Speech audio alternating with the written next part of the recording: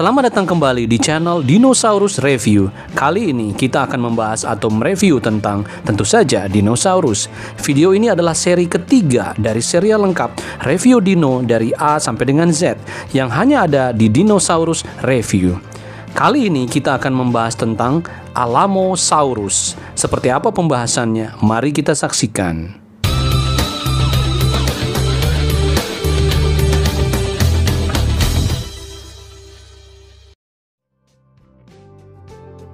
Alamosaurus adalah herbivora berlayar panjang atau sauropod yang hidup di zaman Kretasius akhir. Ya, satu zaman dengan predator Tyrannosaurus rex. Sauropod ini merupakan jenis Titanosaur, salah satu jenis teropod terbesar yang pernah ditemukan.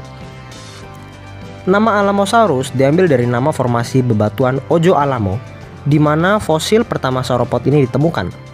Sedangkan kata saurus diambil dari bahasa Yunani, yang artinya kadal.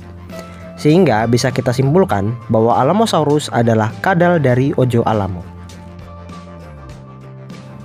Ukuran Alamosaurus cukup masif dengan panjang 20 hingga 30 meter serta tinggi badan dapat melebihi 8 meter.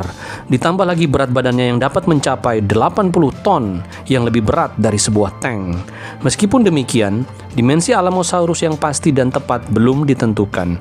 Beberapa ahli bahkan menyebut sauropod ini dapat tumbuh sebesar Argentinosaurus, salah satu hewan darat terbesar yang pernah ada. Dinosaurus ini juga memiliki beberapa kemiripan struktur tulang sauropod kelas Titanosaur. Uniknya lagi, belum ada fosil tengkorak dari Alamosaurus yang ditemukan, yang berarti para ahli tidak bisa menentukan karakteristik kepalanya. Hanya beberapa gigi dan potongan tulang tengkorak yang ditemukan yang kemungkinan milik Alamosaurus. Alamosaurus hidup di benua Amerika Utara sekitar 73 hingga 65 juta tahun yang lalu. Ada kemungkinan hewan ini menjadi buruan Tyrannosaurus rex. Namun, melihat ukuran tubuhnya yang besar, Alamosaurus akan menjadi mangsa yang sulit ditaklukkan bagi predator di masanya. Ditambah lagi, sauropod ini kemungkinan hidup dalam kawanan besar.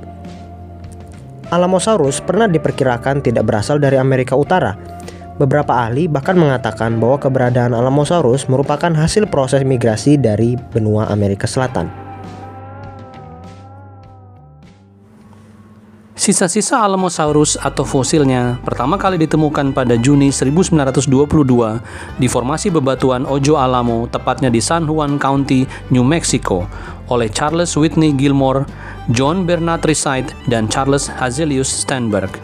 Tak hanya di New Mexico, beberapa bagian yang diketahui merupakan jenis sauropod juga ditemukan di Utah, Texas, dan bahkan Wyoming. Sayangnya, Bukti fosil Alamosaurus terbatas, bahkan bukti pertama Alamosaurus hanya berupa beberapa tulang punggung dan tulang pundak. Kelangkaan tulang sauropod inilah yang menyebabkan kesulitan dalam menentukan dimensi pasti Alamosaurus.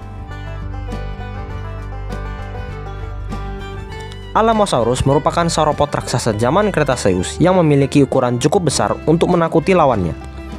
Alamosaurus hidup berdampingan dengan T-Rex di Amerika Utara. Bersamaan dengan Argentinosaurus dan beberapa jenis sauropod lainnya, Alamosaurus termasuk sebagai salah satu jenis terakhir sauropod raksasa. Oke, terima kasih telah menonton seri ketiga dari review Dino. Klik like, share, subscribe, dan tekan tombol notifikasi agar selalu mendapatkan update terbaru dari Dinosaurus Review.